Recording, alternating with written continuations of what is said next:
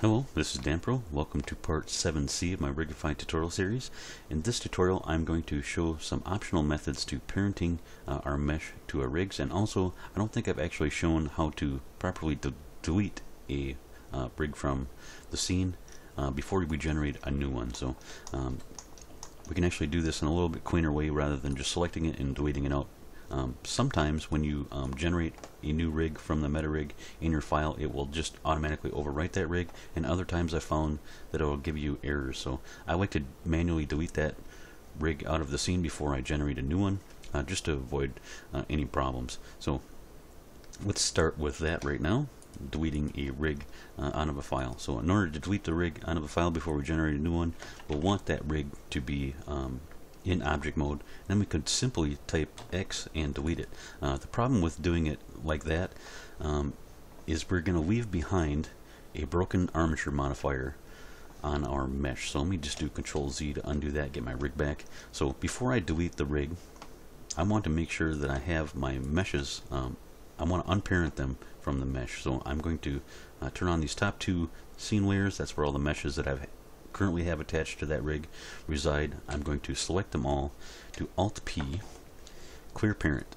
And now if I select that body mesh, you can see that uh, Blender took that armature modifier off there for me. So, and it did it on all the meshes um, that had that armature modifier.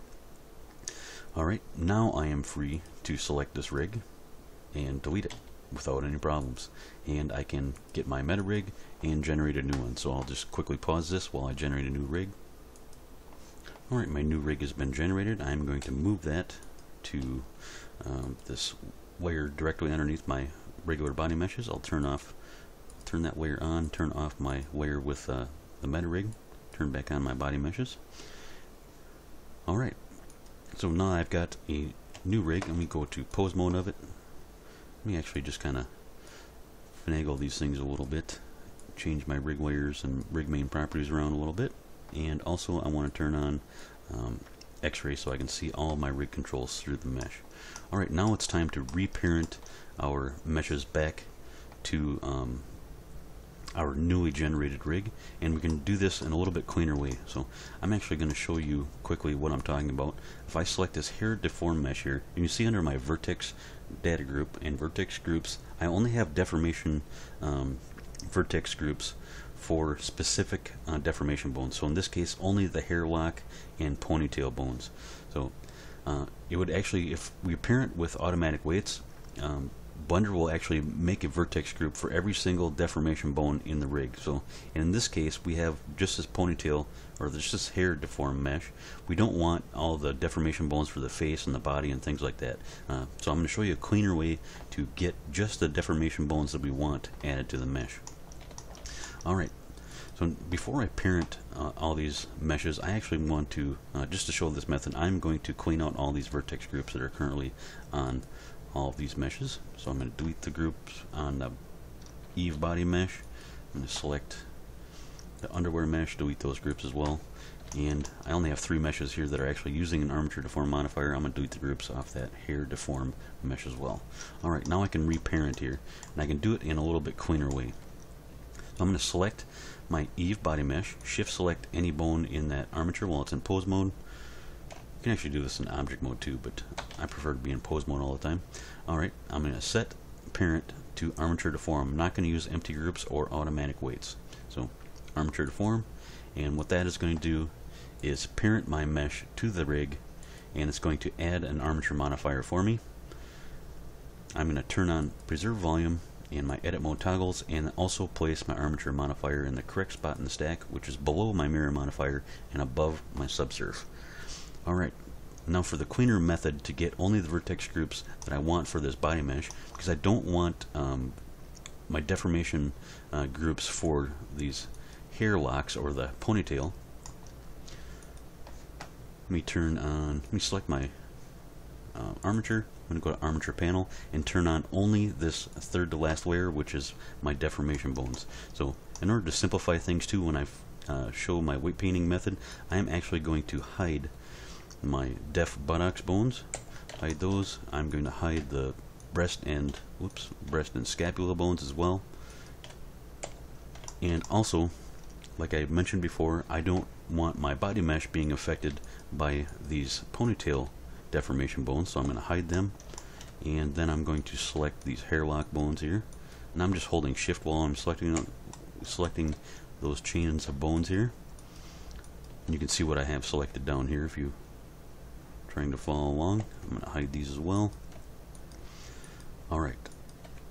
Now that those bones are hidden, I can select my body mesh, go to weight paint mode, and typing A, I will reselect all of those bones. So basically all those bones that I haven't hidden are going to be selected now. I'm going to go to weights and I'm going to assign automatic from these bones. And now only the vertex groups that I have um, unhidden here and selected will be added to my mesh.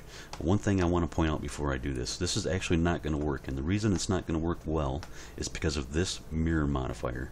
Now I've mentioned this before that there are some tools that just don't work well if you are using a mirror modded mesh. So I do want to show you what will happen uh, when I do this, assign automatic from bones with a mirror modded mesh. So I'm going to go ahead and do this, assign automatic from these selected bones, and we're probably going to see some pretty funky um, results here. So yeah, on this def thigh 02 on the left side, I actually have some weights on the right side of the leg, and that's you know there's that's what I was talking about where sometimes this stuff just doesn't work.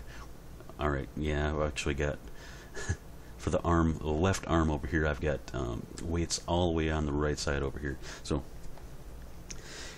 this isn't really going to be a big problem. All we need to do is apply our mirror modifier and we can also uh, cut this mesh back in half later and uh, get it back to a mirror modded mesh uh, when we're using other tools. So I'm just going to apply this mirror modifier then, in uh, object mode, me select that body mesh, go back to my vertex groups and re-delete these. Now, I can go back to weight paint mode, reselect all those bones, and have it um, automatically weight those bones to a non-mirror modded mesh, and it's going to give me a lot better results here. So I'm not going to have those opposite weird things happen all the way on the opposite side of the mesh here. So, yep, that's much cleaner and much nicer. And also, because I've hidden those extra bones that I did not want vertex groups for, they are not in my list here. So let me sort by name, and we can just look here real quick. Where's my H's? Okay, hand. There's no uh, def hair bones, and under my P's, there's no def uh, ponytail bones. So much cleaner way to auto weight with only the vertex groups that we want for that specific mesh. So now we have auto weighted that mesh. Let's just rinse and repeat this for our other ones so we can reparent everything um, back to our rig. I'm going to select my hair deform mesh. I've actually separated uh, this hair into two different um, meshes. One is hair scalp, and because the scalp hair isn't really going to deform, I can actually just parent this directly to my head bone. So I'm going to select that hair scalp mesh, shift select that head bone, control P, and set parent directly to that bone. Because that isn't going to deform. Now with my hair deform mesh, this mesh has all of the locks in the front and the ponytail on the back, and this is going to be parented with armature deform, so I'm going to select that let me just select one of these uh, deformation bones, to do Alt H to unhide these, because I'm going to need these bones here. Alright, so I'm going to select Hair Deform Mesh, Shift select any bone in the armature, and I only have my deformation bones um, visible right now. I can set parent again with armature deform. Now, it is parented, that hair deform uh, mesh is parented to my rig, and it added my armature modifier. I want to turn on preserve volume, edit mode toggles, and put it in the correct spot. And now I can select the bones that I want to add vertex groups for. So I'm going to select these four ponytail bones in the back, def ponytail 001 through 004, and also just holding shift here I'm going to reselect these hair lock bones, or hair lock chains, Alright, now with those selected, I'm going to do Control I to invert my selection. And now I can hide all these other bones in the rig. So I only have the hair and the ponytail bones, uh, the def hair and ponytail bones um, visible. Alright, I'm going to select my hair deform mesh, go to weight paint mode, type A to to light up all of my selected bones there, the ones I wish to add vertex groups for, and weights assign automatic from bones, and really quickly it automatically weighted them for me. Let me go back to object mode, and under my vertex groups, you can see I've got a very clean group of deformation uh, vertex groups. Only the hair bones, none of the facial deformation bones or any of the body bones. So, once again, this is a very clean way to do things. Alright, I'm going to select one of those um, deformation bones again and do Alt H to unhide everything. Now I'm actually going to parent um, this underwear mesh with automatic weights because uh, later, I, after I do a few rounds of weight painting, I'm going to transfer these weights um, to that mesh. So I'm not really going to worry about the extraneous vertex groups for now. I just want it to move um, with my rig. Just to keep her covered for this YouTube tutorial series, Control P. I'm just going to do automatic weights and I'm not going to worry about these extraneous vertex groups here. So I can actually hide that body mesh now that it's parented. I can hide um, my underwear mesh. I can hide my scalp since that is parented. I can also hide my hair deform mesh since that is parented with automatic weights now. This uh, ponytail scrunchy thing, I think I just want to parent that directly to the def head bone. So I'm going to select that, shift select that def head bone, control P, and I can parent that directly to that bone and then hide it. Work my way through my um, different meshes here. Now I need to actually turn on my facial controls here. I'm going to temporarily turn off um, my deformation bones. Let me see here. Where's that located? It's located on the head layer. Alright, so this circular um, shape right here is the teeth top and the one underneath it is for teeth bottom. I'm going to directly parent the teeth top, my teeth upper um, mesh to this teeth top, teeth, teeth top bone, if I can say it. Alright, so select the mesh, shift select that bone, control P. I'm going to parent directly to the bone and I'll just hide that mesh. So teeth lower, I'm going to parent that to the teeth bottom bone, control P, set parent to bone. Just make sure that that works well. Alright, I can hide that. For the eyes, um, for the Pitchipoy super face, the Pitchipoy um, facial rig, um, I actually need to select my rig and turn on the second to last layer, which is uh, where all the MCH bones are. So on the Pitchipoy rig, you actually want to parent your eye mesh to a bone in the MCH layer. So that second to last layer, I'll show you the bone right here, is called MCHI.L. So that is where the eye mesh needs to be parented to. And you can see it's kind of right in the middle here, and it's got this funny little bone uh, pointed right on the end here. So select our mesh, polyeyes.l, and I don't think I've mentioned this before, but I actually went ahead and um, modeled a new eye for Eve. I'm going to shift select that MCHI.L bone, control P, set bone, set parent to the bone. Now I want to rinse and repeat for the right side here. Let me see if I can get at an angle where I can easily select this MCHI.R bone. So poly.I.R, shift select, oops, and I didn't get it. I need to select this bone right there, so MCHI.R, control P, set parent to bone, and now my look at target here. If I grab it it should move my eyes. Uh, my eyes are parented correctly. I can actually hide these work my way. There's only a couple more meshes here left. Alright I'm going to select my eyelash mesh. Let me just delete my vertex groups here let me do that same thing for the eyebrow mesh too again I just want to show this method here don't have my armature, I haven't parented these yet. I'm going to select my rig so I can get back to only my deformation bones. So armature panel, third to last layer, that's my deformation bones. Alright, I'm going to select my eyelash mesh, if I don't move that here. Shift select any bone in the armature, and I only have the deformation bones visible. Control P, armature deform. Now I want to select only these bones that are ringing the eye here. So these are the lid bones, lid top and lid bottom. You see their names down here. I'm going to select just these. Oops. On the left side, and then I can reselect these on the right. just these ones that are going around that eye. Once again, Control I to invert my selection, H to hide, and now, did I parent this already? Yep, I parented it with armature deform. I need to put my armature in the correct spot, turn on preserve volume. Yep, make sure I'm parented to the rig. Alright, perfect.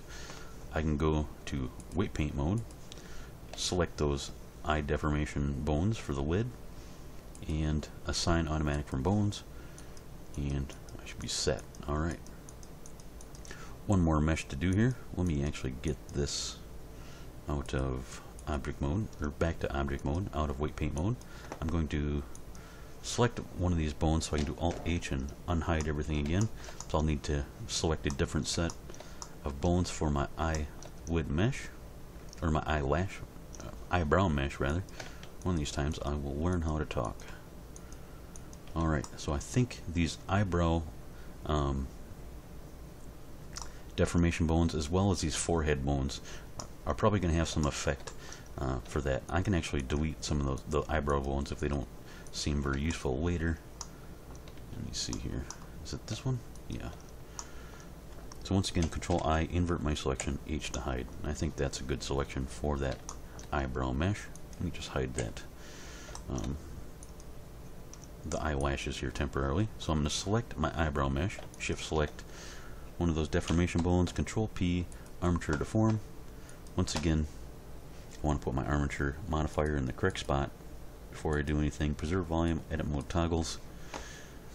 And now I can go to weight paint mode, select all of these deformation bones that are going to affect th those eyebrows, weights, automatic from bones, and pretty easy. And that we are done. We've now reattached all of our meshes to um, our rig.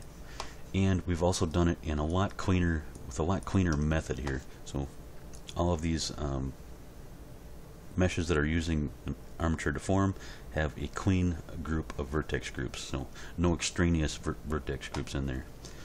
So and now that we've attached all of our meshes back to our rig we can get into some weight painting and weight painting methods so until next time good luck